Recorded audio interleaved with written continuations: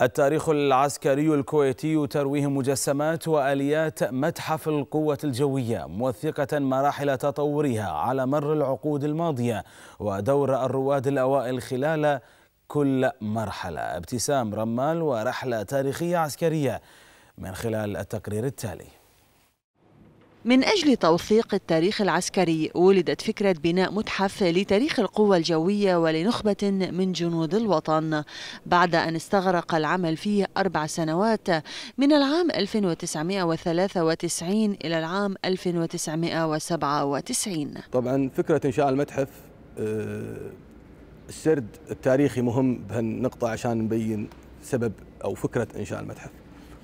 آه، بداية الطيران بالكويت خصصت الحكومة الكويتية لشركة نفط الكويت في عام 1948 موقع مطار في النزهة منطقة النزهة الحالية. وفي هذه طبعا كان مطار جدا بدائي أو متواضع خلال تلك الفترة.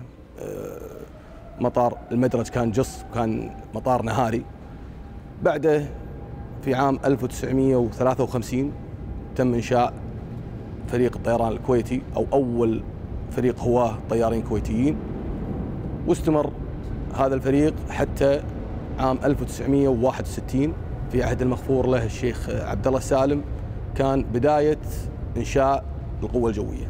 بعد احتفالنا ب 40 سنة من إنشاء القوة الجوية تبلورت في سنة 94 آه، تبلورت فكرة إنشاء متحف يضم هذا الإرث التاريخي بشكل كامل في مكان واحد.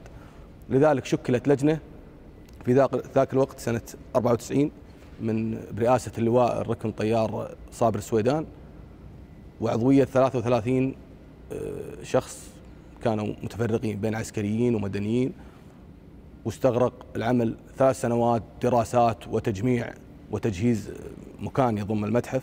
وتم افتتاح المتحف في عهد المغفور له الشيخ سالم صباح السالم تاريخ 24 نوفمبر عام 97 ميلادي. أما الهدف الأساسي من وجود متحف كهذا هو حفظ تاريخ القوة على مدى العقود الماضية وتبيان أهم الأعمال التي قامت القوى الجوية بها وحفظ الطائرات ومعدات الدفاع الجوي ووسائل التدريب التي استخدمت وتوثيق دور الرواد الأوائل. أنشأ المتحف لتحقيق ثلاث أهداف رئيسية.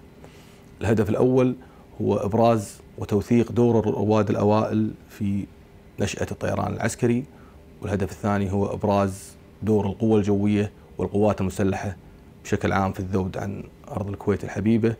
والهدف الثالث هو تحفيز وتشجيع الشباب الكويتي على الانخراط في السلك العسكري. كما يسلط المتحف على مرحلة هامة بدءا من تسمية نادي الطيران الكويتي للهواة عام 1953 لتتغير التسمية بعد إعلان الاستقلال عام 1961 إلى سلاح الطيران الكويتي الأميري ليتغير الاسم بعدها عام 1976 إلى قوات الطيران المدني والدفاع الجوي بعد إنشاء الدفاع الجوي وإلحاقه بالقوى الجوية حتى وضع الاسم الرسمي القوة الجوية الكويتية. عام 1981 بتوجيهات من معالي النائب الأول لرئيس مجلس الوزراء وزير الدفاع الشيخ ناصر صباح الأحمد الجابر الصباح وبدعم من سعادة رئيس الأركان العامة للجيش الفريق الركن محمد خالد الخضر. يتم الآن العمل على تطوير المتحف ونقل المتحف من منطقة المطار الدولي إلى منطقة أخرى بإذن الله ويتم الآن التخطيط بتوجيهات من سيدي آمر القوه الجوية اللواء ركن طيار عبد الله يعقوب الفودري تخطيط للمتحف القادم وضم محتوياته وأقسامه وتطويره إلى مرحلة إن شاء الله أفضل ليتيح للزوار سرد الأحداث بشكل أكبر ومتابعة الطيران ومعرفة تاريخ القوة الجوية بشكل كامل ومفصل إن شاء الله بإذن الله. المتحف ساهم في إعطاء صورة مشرقة لتاريخ القوى الجوية ليكون نبراسا للتاريخ العسكري الكويتي. ابتسام رمال الرأي.